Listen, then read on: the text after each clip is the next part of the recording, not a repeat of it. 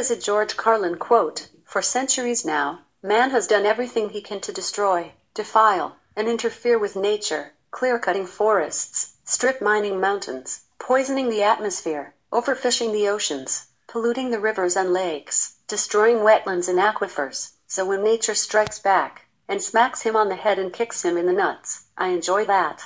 I have absolutely no sympathy for human beings whatsoever. None.